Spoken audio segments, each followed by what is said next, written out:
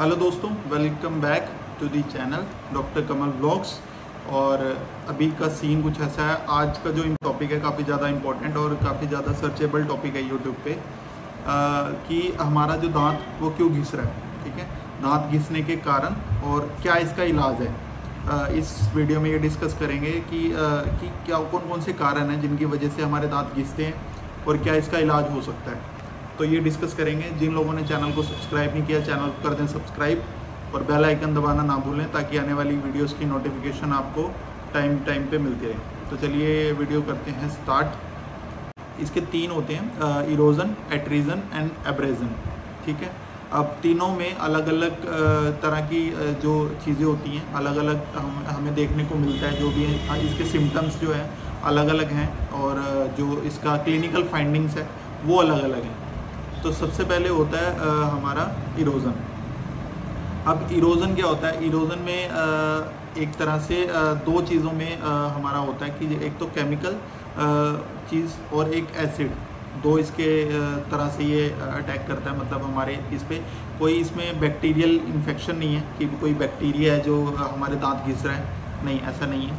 कुछ कारण होते हैं हमारा जो ये दांत घिसते हैं ठीक है? इरोज़न अब केमिकल इन द सेंस कि कोई एसिड ये केमिकल है जिसकी वजह से हमारे दांत घिस रहे हैं। जिन लोगों को कोल्ड ड्रिंक्स सॉफ्ट ड्रिंक्स ये पीने की आदत होती है या कोई भी एसिडिक फ़ूड मतलब इन द सेंस कि कोई फास्ट फ़ूड है या कुछ खट्टा चीज़ें खाने का ज़्यादा शौक है आ, ये नहीं है कि नॉर्मली आप जो खा रहे हैं उतना चल जाता है बट ज़्यादा जो लोग खाते हैं खट्टी चीज़ें एसिडिक वाली चीज़ें उससे क्या होता है कि हमारी जो ऊपर की लेयर है तीन लेयर्स होती हैं इनेमल डेंटिन और पल्प जो इनेमल जो लेयर है, सबसे सुपरफिशियल लेयर है, वो घिसती है।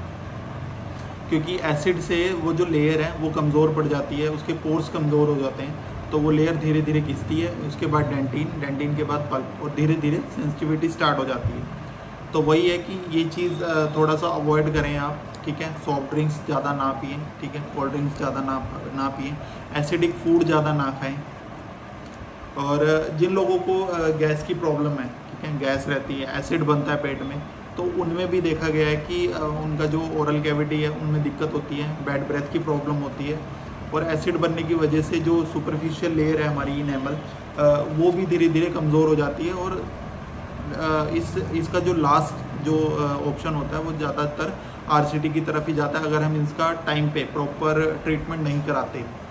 तो यही है कि अगर आपको इस तरह की चीज़ दिख रही है कि दांत घिसना स्टार्ट हो गया आपका तो अपने नियर बाय डेंटिस्ट के पास जाएँ और आप दिखाएँ ताकि वो आपको जो भी है चीज़ें बता सकें एक्सप्लेन कर सकें कि अभी किस स्टेज पे है और इसमें क्या इसका ट्रीटमेंट बनेगा।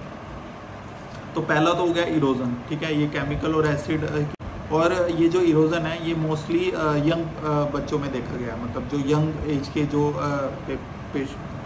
यंग एज के जो बंदे हैं, उन, उनमें देखा गया है। मतलब बिफोर ट्वेंटी फाइव जितने भी पर्सन हैं, उनमें देखा गया, ठीक है? और ये किसी बैक्टीरिया के कारण नहीं होता, बस यही है जो हम फ़ूड खाते हैं, उसकी वजह से होता है। सेकेंड है सेकेंड जो है हमारे पास एट्रीजन एट्रीजन में क्या होता है आप फ़ोटो में देख सकते हो एट्रीजन एक तरह से जो लेयर है इनेमल इसमें भी घिसती है इनेमल की जो लेयर है। बट ये हमारा खुद की जो हमारी बैड हैबिट्स हैं, उसकी वजह से होता है। लाइक हम रात को किटकिटाते हैं दांत को, दांत घिसते हैं खुद ही।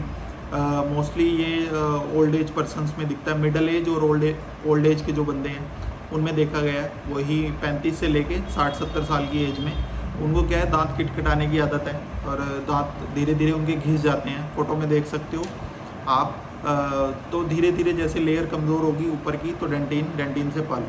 तो धीरे धीरे सेंसिटिविटी स्टार्ट हो जाती है। तो वही है। कि उनमें क्या करते हैं, हम नाइट गार्ड देते हैं उनको, ठीक है? एक लेयर हो जाती है दोनों दांतों के बीच में, एक मतलब सेपरेशन हो जाता है तो वो अगर दांत घिस भी रहे हैं तो वो हमारा जो इनेमल है, वो नहीं घिस रहा, वो नाइट गार्ड घिस रहा है।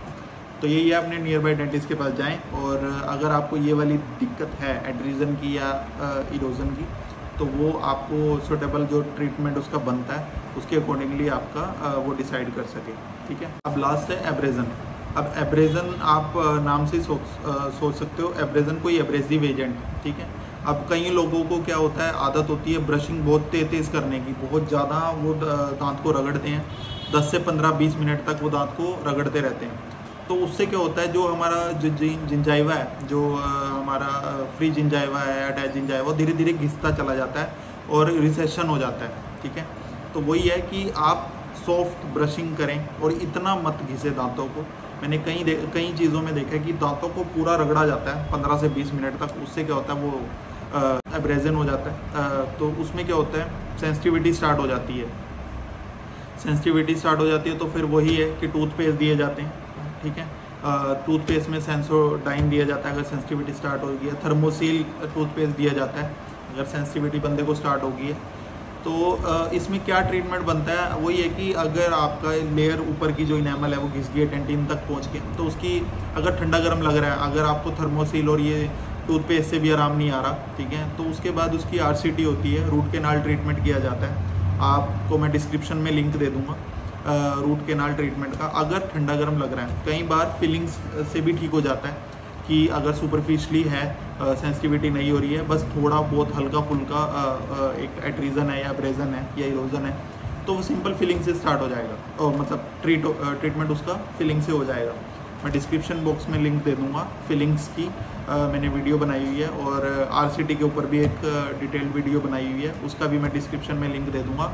अगर आप देखना चाहते हो आर क्या होती है और फीलिंग्स कौन कौन सी कैसे कैसे कराई जाती है तो आप डिस्क्रिप्शन बॉक्स में जाके उसको देख सकते हो। तो यही है तीन चीज़ों से होता है इरोजन एड्रीजन और एब्रेजन इन्हीं की वजह से दांत घिसते हैं और मैंने आपको बता दिया क्या क्या इनके कारण है किसकी वजह से ये चीज़ होती है और इसका क्या ट्रीटमेंट बनता है। वही है कि अगर इसको टाइमली आप चेक करा लेते हो, दिखा लेते हो नियर बाय डेंटिस्ट से तो फिलिंग से आपका बच जाएगा दांत। नहीं तो वो फिर आर जाता है, फिर आर के बाद कैप लगानी पड़ती है। तब जाके आपका नॉर्मल जो डेंटिशन है, वो सेट हो जाता है। यही था। तो इस वीडियो में मैंने बताया कि कैसे कैसे दांत घिसते हैं, ठीक है? क्या कारण होते हैं दांत घिसने के, और इसका क्या इलाज है, ठीक है? ट्रीटमेंट के लिए मैंने आपको बताया कि जो दांत घिसने घिसने वाली चीज़ है, उसमें फीलिंग्स होती हैं अलग अलग फीलिंग्स है। आप डिस्क्रिप्शन में देख सकते हो फीलिंग्स की एक वीडियो है। अगर आर दांत जाता है, ठीक है अलग अलग पेशेंट टू पेशेंट वो डिपेंड करता है कि क्या उसकी कंडीशन है क्लिनिकली देख के पता लगता है कि ठीक है। कईयों में रिसेशन की वजह से भी होता है, कईयों में कुछ और एब्सेस बनी होती है। तो वो ये नहीं है कि पर्टिकुलर दांत घिसने की वजह से ही आपको सेंसिटिविटी हो रही है। उसके अलग अलग कारण हो सकते हैं। तो यही है उसको एक तरह से आपका डायग्नोस बन जाएगा। तो डायग्नोस बनने के बाद उसका ट्रीटमेंट लाइन ऑफ़ ट्रीटमेंट उसके हिसाब से मैनेज होगा। तो इस वीडियो में यहीं तक। जिन लोगों ने चैनल को सब्सक्राइब नहीं किया चैनल को कर दें सब्सक्राइब और ज़्यादा से ज़्यादा वीडियो को शेयर करें। अपने दोस्तों के साथ जिनको ये दिक्कत है दांत घिस रहे हैं, ठीक है? तो वीडियो को शेयर करें। उसमें और कमेंट बॉक्स में आप से कोई भी अगर आपको क्वेरी है तो आप पूछ सकते हो। मैं अपना फ़ोन नंबर भी व्हाट्सएप नंबर भी डिस्क्रिप्शन बॉक्स में दे रहा हूँ। अगर कोई भी डेंटल रिलेटेड आपको क्वेरी है, और अगर नियर बाय यमुनानगर से आप हो और आपको डेंटल ट्रीटमेंट कराना है तो आप आ सकते हो श्री श्याम डेंटल हॉस्पिटल में। आपका यहीं पे गवर्नमेंट स्कूल है, ससोली में एक ही गवर्नमेंट स्कूल है।